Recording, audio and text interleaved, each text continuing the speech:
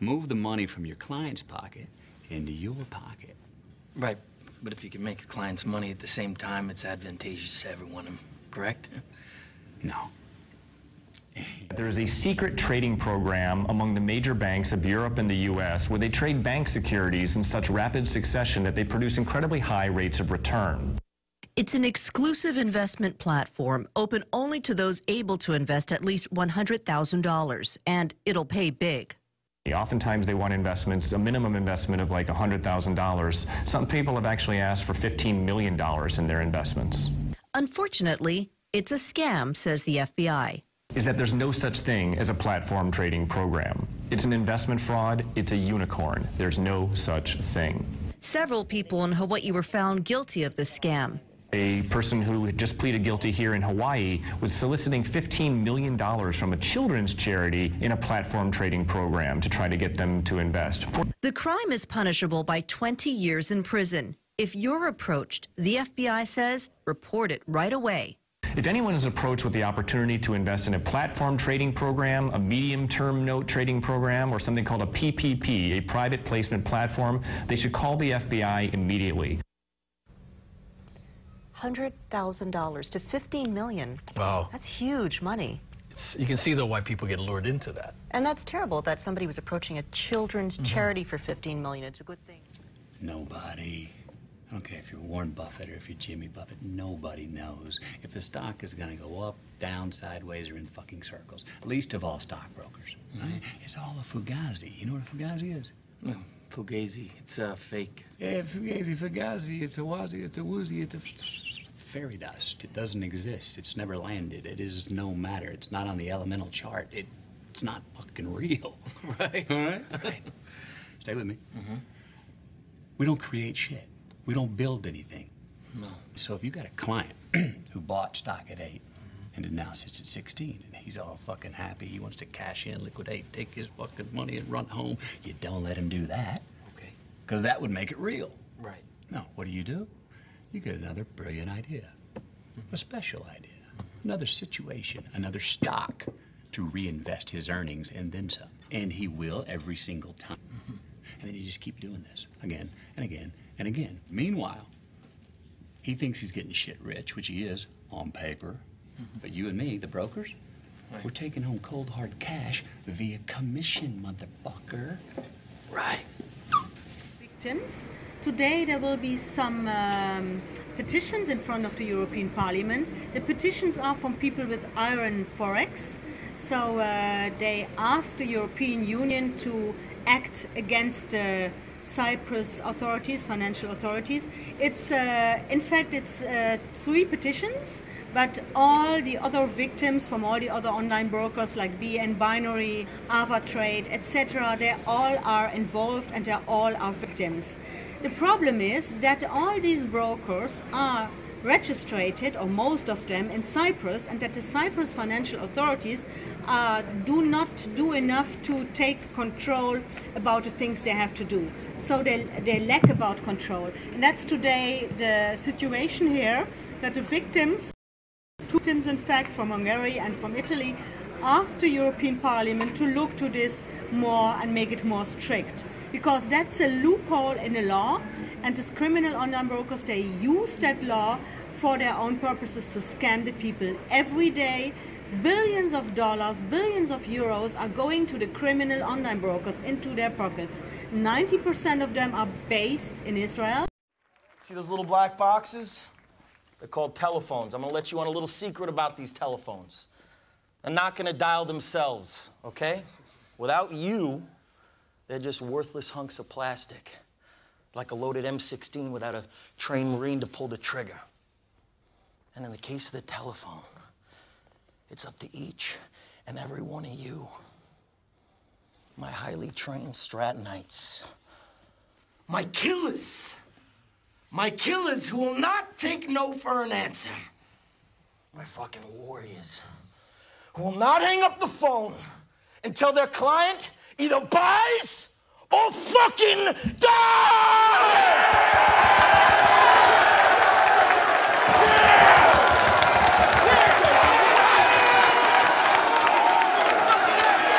Are you behind on your credit card bills? Good. Pick up the phone and start dialing. Is your landlord ready to evict you? Good. Pick up the phone and start dialing. Does your girlfriend think you're a fucking worthless loser? Good. Pick up the phone and start dialing. I want you to deal with your problems by becoming rich. All you have to do today is pick up that phone and speak the words that I have taught you. And I will make you richer than the most powerful CEO in the United States of fucking America. I want you to go out there and I want you to ram Steve Madden stock down your clients' throats till they fucking choke on it. Till they choke on it and they buy a hundred thousand shares. That's what I want you to do. You be ferocious. You be relentless. You be telephone fucking terrorist. Now let's knock this motherfucker out of the park. The petitions to the European Parliament because it's a loophole in the European law. Uh, they are registered most of the Cyprus. The Cyprus financial authorities are lacking of the work they should do taking control about the activities from the uh, criminal online brokers. The problem is almost everybody can make such a website and let it be registered in Cyprus. There's not enough control. The victims do not have any protection. And that's where we are here because many victims lost millions of dollars, of euros to these criminal online brokers. They manipulate the courses, they uh, block the accounts, they use fake names, they use fake offices. They are uh, registered in Cyprus, and from Cyprus, they are scamming victims, um, clients, like they say, but in fact, all the people are victims from all over Europe, and everybody loses his money. It's absolutely time that this is going to be stopped, and it's time that the European Parliament is taking action against this. The victims are there now for almost 10 years. This is going on. It's the biggest financial scandal of our times, some experts say. It's the fastest growing industry in the internet. So everybody is clear about it, that the problem is going to be bigger and bigger every day, and the European Parliament has to be stopped. Il s'agit d'Israël.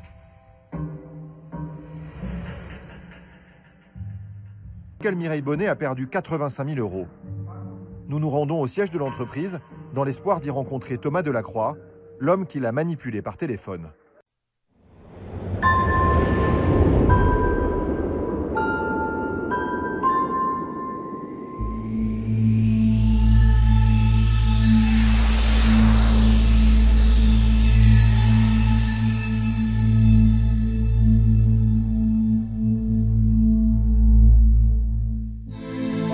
For centuries, diamonds have been mined, cut, and traded. Since the foundation of Israel, a young state in the Middle East, diamonds have been manufactured, exported, and imported. One center, trusted and unique. An ongoing success story that continues to develop. Tradition innovation, vision. The Israel diamond industry.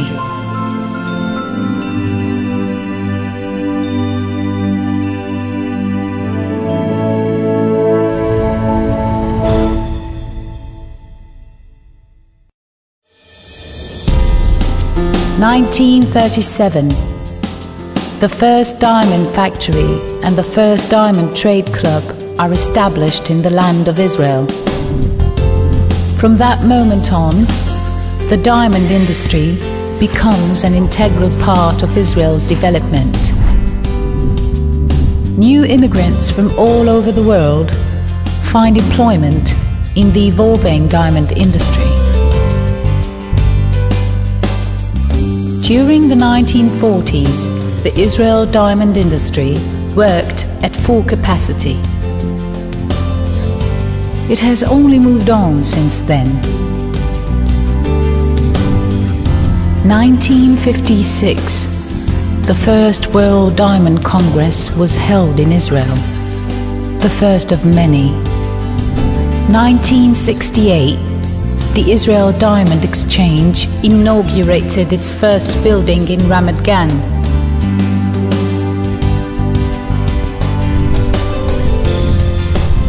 Nineteen seventy-eight saw the addition of Maccabi Building, and in 1993, the Diamond Tower. In the 90s, Israel's diamond industry is propelled into the era of high technology. In 1998, the Rough Diamond Trade Hall is inaugurated, signaling the Israel Diamonds Industries and venture to become a global rough diamond trading center. Thus far, there's been almost no law enforcement within Israel, and the industry is going forward as usual. So you're saying that people in Israel are still selling binary options? Right. Thousands of people in this business? Thousands of people are waking up every morning and going to work and selling these binary options to Are people they abroad. selling only to people abroad? They're not selling to people in Israel. There, it's illegal to sell to people in Israel. I've heard that there are some companies that still sell to people in Israel, but the, the vast majority of the money is abroad. Binary options, is it more like fraud or like gambling? Does anybody actually make money? It depends on the company. I've heard I've heard from brokers who worked inside the company that it was something like 98 to 99% of customers lost some or all of their money. What some of the companies do is they tell the brokers that it's up to you. In other words, if, if you have a client who wins $100,000 and you want to let them withdraw that money, you're welcome to, but that will be taken out of your commission for the month. So what happens in effect is that the vast majority of clients lose their money. So we're talking about a very, very crooked business that is owned in part by very wealthy, even known individuals here in Israel. That's absolutely right. That's absolutely right. Um, there's there are a lot of ties to people. There are ties to people within the police. There are ties to prominent business people. Ties to people who are connected to large newspapers, and therefore it is an entrenched problem, and it may be difficult to root out completely. Uh, have they been protected to some extent? Have the binary companies been protected to your knowledge, from what you could tell from people in the police and from uh, some newspapers and, and others? When I interview people inside the industry, they say, yes, of course, I believe we have protection. I believe that this industry is being protected by the government, or at least law enforcement is looking the other way. I don't have any specific evidence of that. It's just rumors. So the story is not dead. Binary options continue, even though the Knesset has held hearings about it and launched an investigation, and even though it's illegal here in Israel, thousands of Israelis are still making a living at something which is, which is certainly disreputable. And even the Prime Minister's office of Israel has put out an announcement saying that this is this should not exist. Right, they have, but that hasn't been backed up by any law enforcement action to shut this down. So where do you go from here with the story? You're going to continue on with the story. There's more to be investigated. There's more to be investigated. The industry, the industry is so large and it's been festering for over nine years that there are a lot of things left to expose. Dans les locaux, nous découvrons une ambiance festive et décontractée. C'est probablement de cette salle que celui qui se présentait comme Thomas Delacroix appelait Mireille Bonnet. Peut-être même que Thomas figure sur cette vidéo que nous avons retrouvée sur Internet, parmi ces vendeurs de FXGM qui se filment eux-mêmes en train de célébrer les succès de leur entreprise. D'ailleurs, alors que nous entrons dans le bureau de la recruteuse, une cloche Israel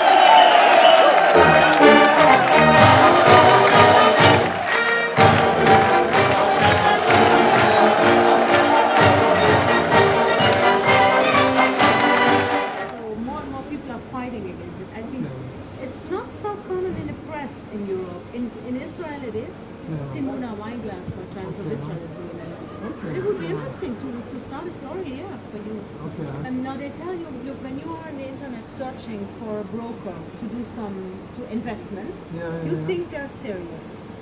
And they're all, 90% of them are scam. Oh. They take your money, they manipulate the Yeah, yeah. courses, they block your accounts. And the strange thing is, they're all registered in Cyprus. But uh-huh. Cyprus has a very, it's because of, they're registered in Cyprus, so they can do their business in all Europe before, because of MIFID, that's the law. yeah, So financial uh, services in all Europe is possible, but you cannot control them because Cyprus is doing nothing. Yeah, yeah. That's the problem behind it.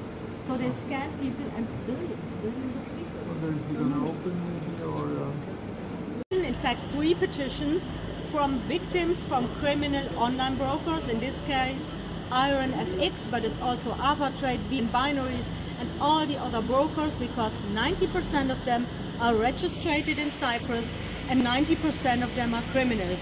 They are scamming their clients, they are blocking their accounts, they are manipulating courses. This has to be stopped. Most of these online brokers are just criminals to take the money from the victims. And uh, today we will ask the European Parliament to stop this. It has to be stopped. It's absolutely time. The governments cannot do anything. It has to be stopped on European level.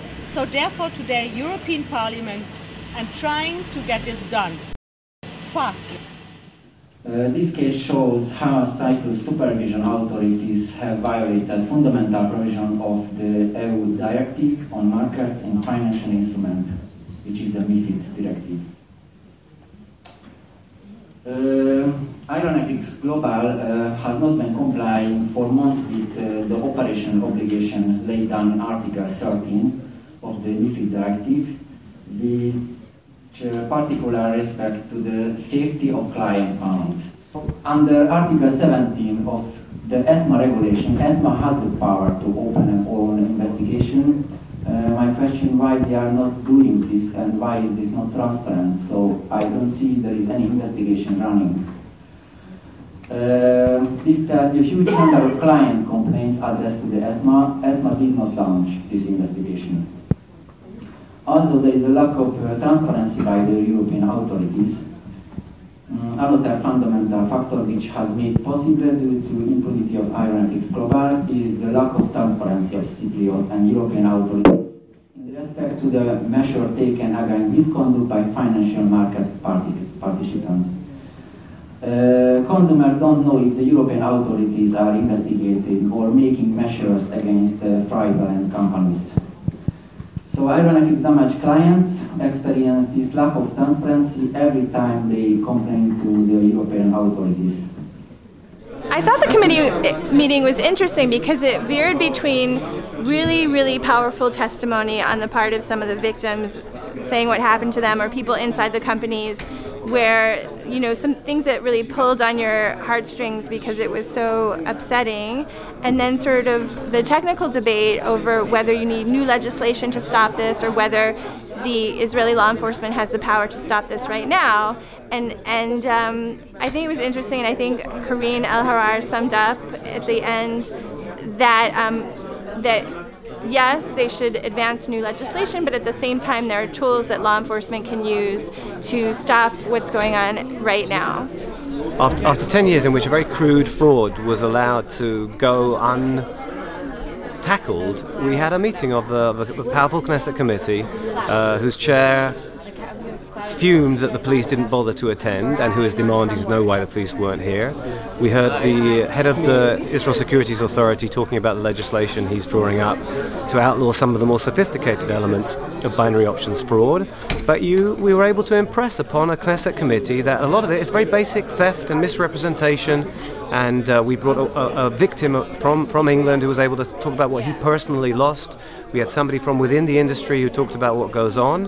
Uh, you know, this, this is not the, the end of the plague of binary options, but it's a step in the direction of tackling it seriously. The truth of the matter is, is that the enforcement authorities and the Israeli government should uh, stop ignoring the uh, solution and um, And the solution should be simple. There should be a criminal uh, uh, action against the fraudsters.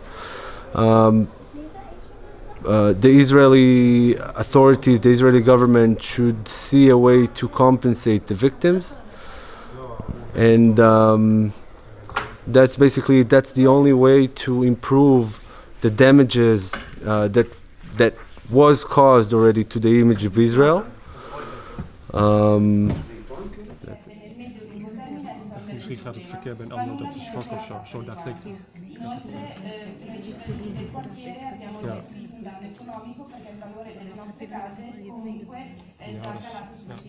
ja, dat vragen ze wel inderdaad.